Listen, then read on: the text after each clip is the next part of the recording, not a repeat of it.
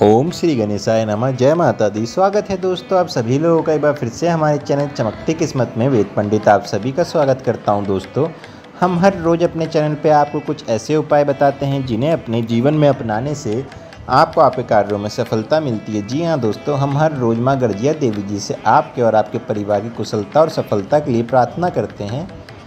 और उम्मीद करते हैं आप लोग अपने परिवार के साथ एक अच्छा जीवन यापन कर पाएँगे। दोस्तों, साल 2023 में रक्षाबंधन 30 या 31 अगस्त किस दिन पड़ रहा है, इस बात को लेके बहुत ही ज़्यादा लोगों में बहुत ही ज़्यादा भ्रम है। यानी कि लोग परेशान हैं कि किस दिन मनाना चाहिए और किस दिन नहीं।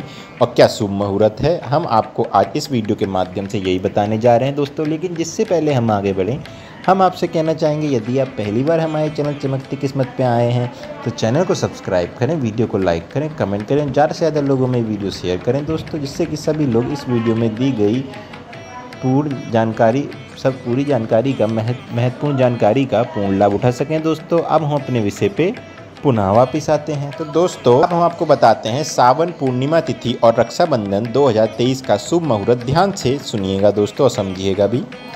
हिंदू पंचांग के अनुसार 30 अगस्त को सुबह दस बजकर अट्ठावन मिनट से पूर्णिमा तिथि लगने के साथ ही भद्रा भी लग जाएगी, जो रात को नौ बज के एक मिनट तक रहेगी। वहीं दूसरी तरफ़ सावन पूर्णिमा 31 अगस्त को सुबह सात बजकर सात मिनट पर समाप्त हो जाएगी। इसलिए जो राखी बांधने का शुभ मुहूर्त है, वो 30 अगस्त को रात नौ बजकर एक मिनट से लेकर 31 अगस्त को सुबह सात बज के पाँच मिनट तक ही रहेगा। तो लगभग ये 10 घंटे का ही शुभ मुहूर्त है।